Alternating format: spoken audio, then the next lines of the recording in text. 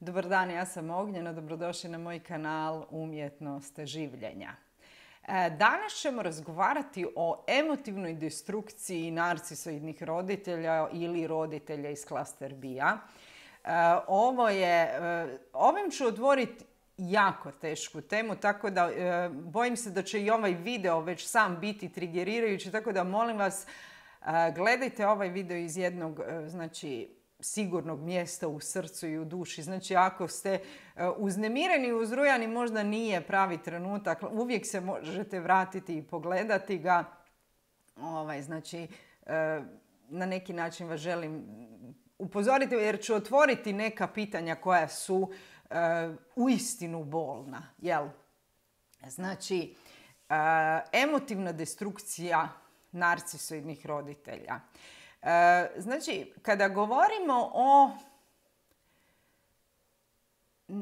obiteljskoj dinamici u kojoj je prisutan narcisoidni poremećaj ličnosti, znači tu uvijek imamo e, poremećene relacije i poremećeni e, koje će dovesti do poremećaja u emotivnom razvoju. I problem narcisoidnog poremećaja ličnosti i problem klaster bija je u tome što je uvijek moćniji od uloge koju ta osoba ima, znači u životu i u našem životu u konačnici. Šta to u praksi znači? Znači, roditelj koji je narcis e, je uvijek prvo narcis, a tek onda roditelj.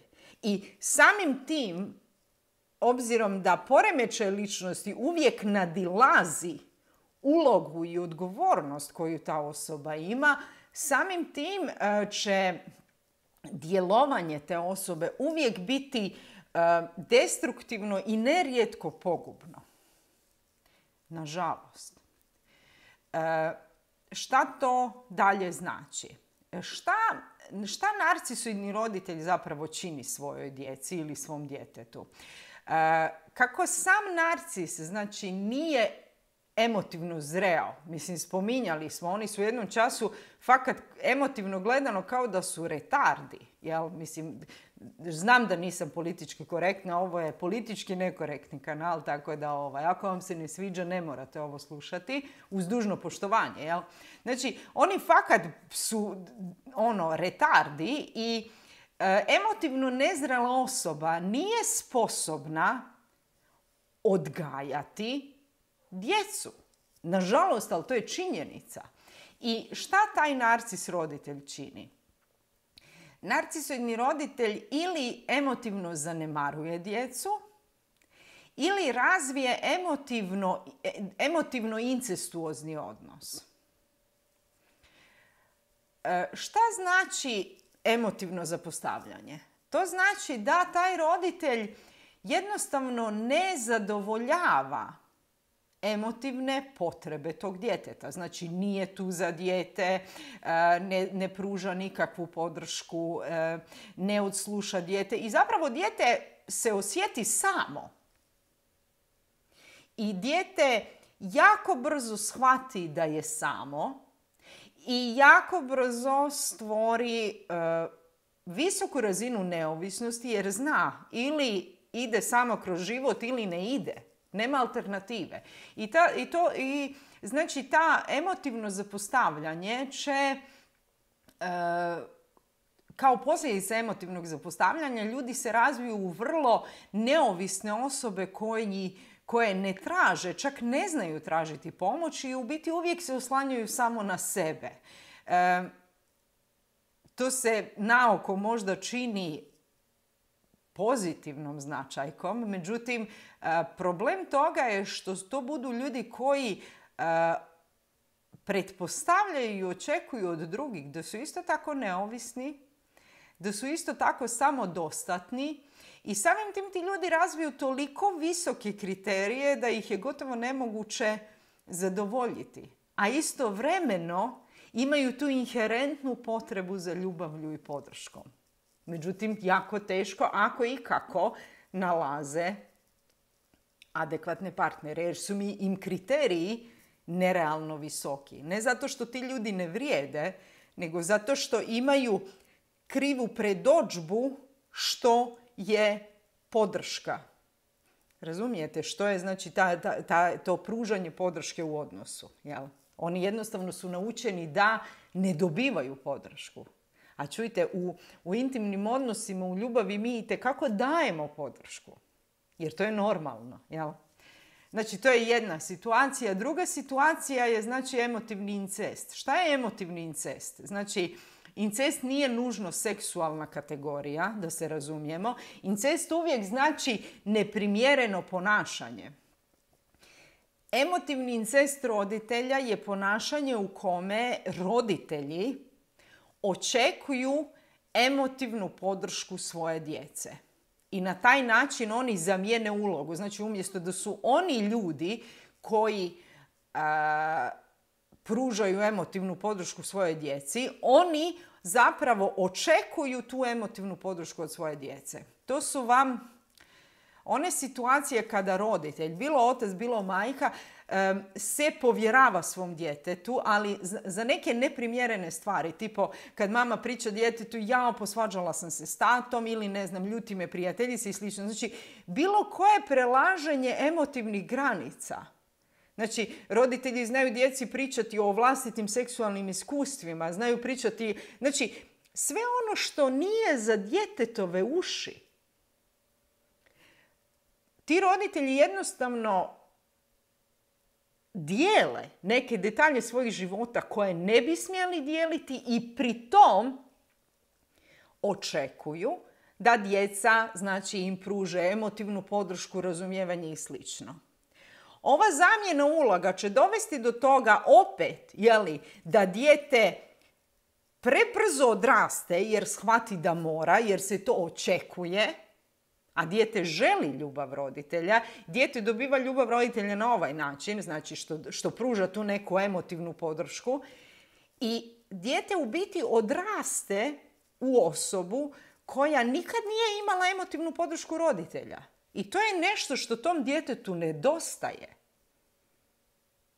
Znači, vi ako niste imali u emotivnom smislu oca ili majku, vi ćete te ljude tražiti kroz neke buduće odnose. I emotivno zapostavljanje i emotivni incest će za rezultat imati da dijete kada odraste zapravo stvara partnerske, stvara disfunkcionalne partnerske odnose. I sad, otkud to? Nije problem eh, nije problem što dijete, znači, znači kasnije odrasla osoba, znači eh, kako, kako uopće dođe do toga da su ti odnosi disfunkcionalni. Eh, problem se javlja u tome što dijete nije imalo zadovoljene temeljne emotivne potrebe. I samim tim to dijete u tom aspektu emotivno nije sazrijelo. I pazite, to su ljudi koji nisu bedasti ali oni inherentno imaju taj nedostatak. I oni imaju potrebu prije svega ispuniti tu prazninu. Vi kada od partnerskog odnosa tražite ispunjenje neke potrebe koja je davno trebala biti zadovoljena, vi u naravi imate vrlo krivu motivaciju zašto ulazite u taj partnerski odnos. Ovo ne govorim kao kritiku ili osudu, ovo govorim u onom smislu e, pomoći pri razumijevanju kako do toga dođe. Znači, nije problem partnerski odnos, problem je motivacija koja vas je dovela i očekivanje koje vi imate od tog partnerskog odnosa. Znači, e, nažalost, kada ste emotivno uskraćeni kao djeca, vi automatski postavljate ogromna očekivanja od partnerskog odnosa koja se nažalost ne mogu zadovoljiti. Jer partner nije roditelj. I grijeh vaših roditelja ne može ispaštati vaš partner. I vjerujte mi, ja stvarno znam da to je jako teško. Međutim, e, To je jednostavno tako. I mislim da je pristup ovoj problematici ključno je razumjeti što vam se dogodilo. Što vam je nametnuto bilo u djetinstvu što vam nikad nije smjelo biti nametnuto i jednostavno prihvatiti da e, su vam neke neka emotivna pitanja uskraćena. Jer kada to prihvatite, vi ćete jednostavno naučiti živjeti s tim.